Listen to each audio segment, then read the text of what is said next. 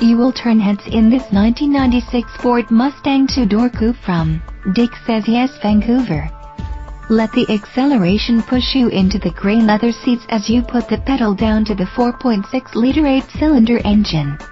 Mill through its 4-speed automatic transmission to its null. Then put the windows down and turn up the tunes with the AM-FM stereo and more.